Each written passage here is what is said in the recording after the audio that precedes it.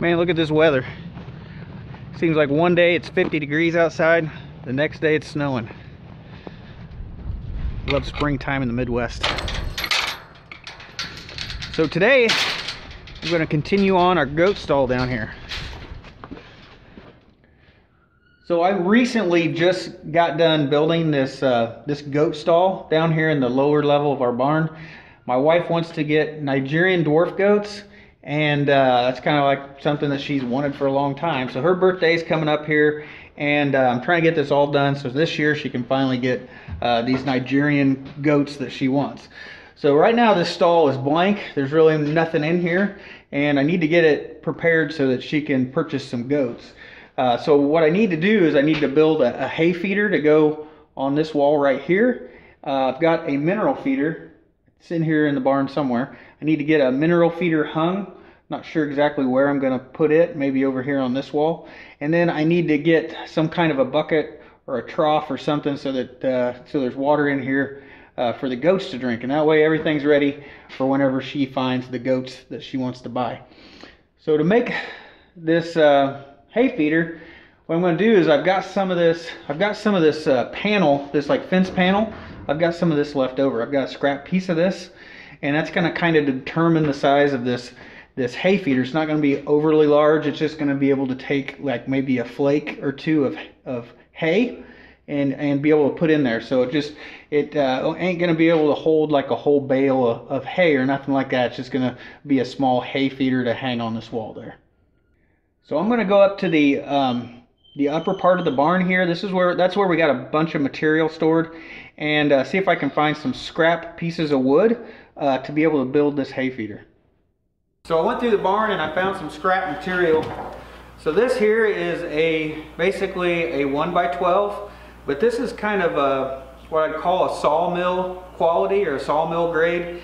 It's actually a true one inch thick. It hasn't been sanded down or anything, so it's got a rough finish, but it's actually a true one inches thick.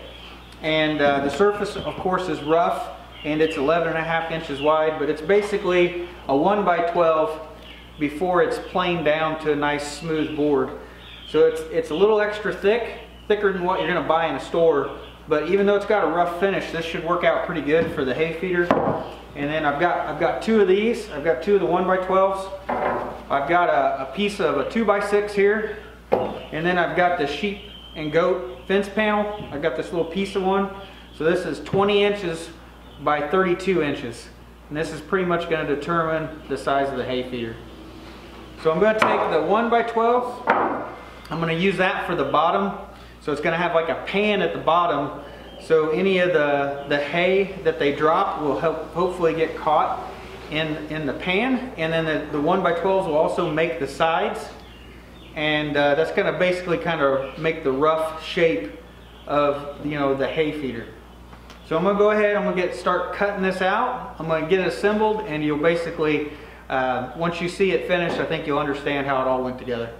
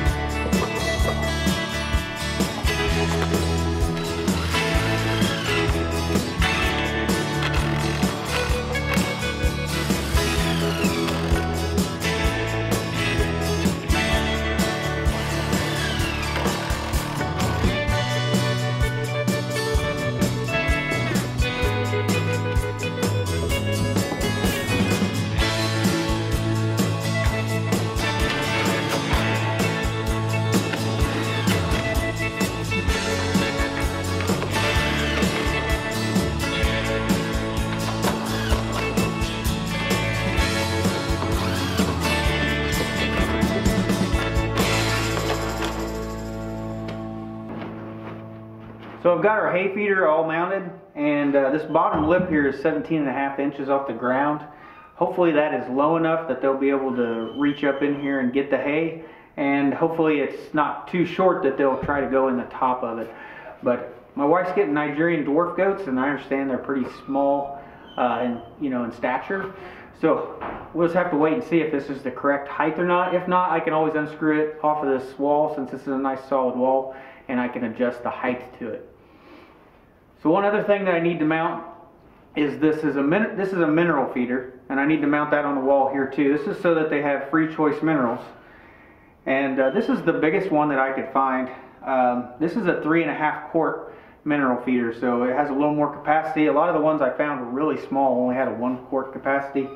And uh, so I need to hang this on the wall as well so that they can uh, get some free choice minerals and I need to get the height on it correct as well. I need it high enough where they can be able to access it, but not too low that they don't poop or pee in it. You know, we don't want to get uh, the minerals or the hay, we don't want to get them contaminated. So another reason why we need to keep the, try to get the heights right. So I'm just going to go ahead and mount this basically the same height as this at the moment. And uh, once she gets the goats, we may have to tweak this. So now I still should have enough room to be able to, for right now I don't have anything to water the goats in except probably a five gallon bucket. So for right now I should, there's still enough room in this corner that we can put a nice new or nice clean five gallon bucket and that's how we'll end up watering the goats for the time being. So I'm hoping that this, this tray here in the bottom will catch any of the hay that they don't get in their mouth and falls out. I'm hoping that it will catch some of it at least because if that hay falls down and hits the ground, I guess the goats won't eat it and it ends up going to wet, waste or just ends up being bedding. Um, so any of the hay we can catch, the better.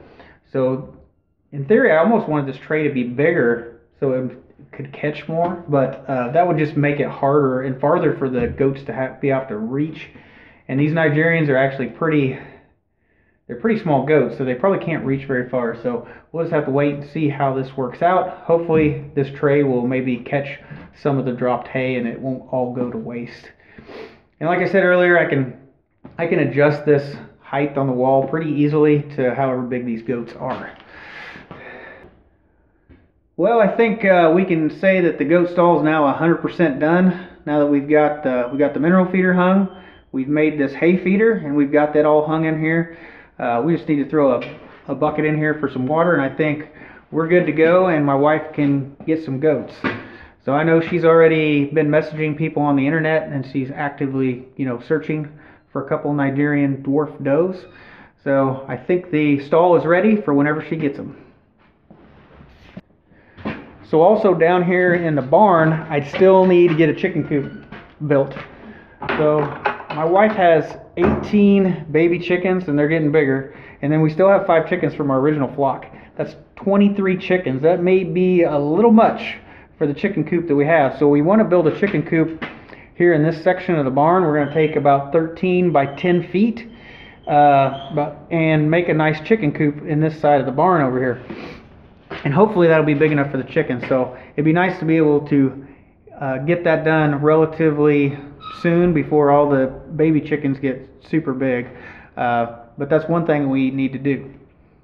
Another thing that I need to do is I need to get my pastures completed. I don't have any pasture right now, so I've just got the barnyard at the moment. So I do have a small section of pasture behind the barn, and I basically just need to put in a corner post with some braces, and then I need to put in some extra bracing uh, in a couple other spots, and I can pretty much um, fence in a small uh, paddock of pasture uh, that's accessible for the barnyard, and that'll give the, my wife's goats somewhere to be able to go.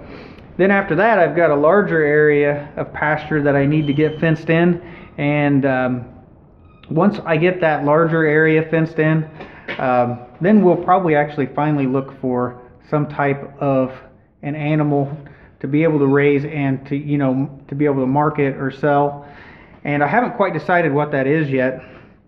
So I need some kind of an animal that I can raise on pasture, that can graze on the grass or the brush in the woods or whatever, and can eat the hay that we grow, and we don't have to put a lot of feed cost into them.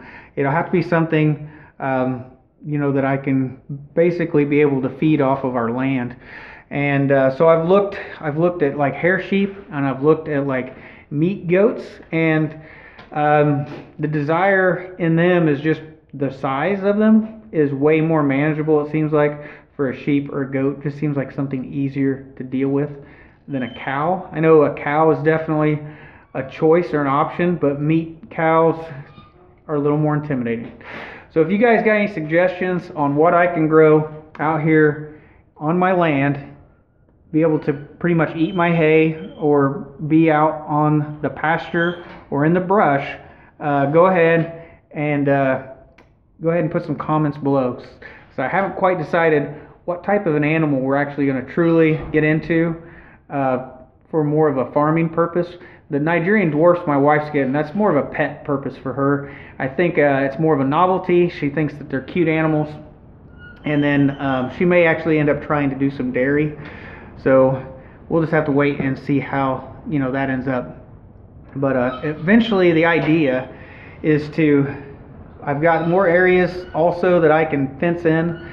And uh, it'd be nice to fence in a bunch of pasture and be able to raise some type of an animal uh, here on the property. Now, as far as uh, pigs, pigs are concerned, we probably will raise some pigs, probably maybe two or three at a time, and uh, that is mainly for us to be able to butcher one ourselves, and then we'll probably uh, maybe market, uh, you know, the other pigs that we raise and see if we can sell them to somebody. But um, overall, I don't think I want to do pigs as a like full-time big operation.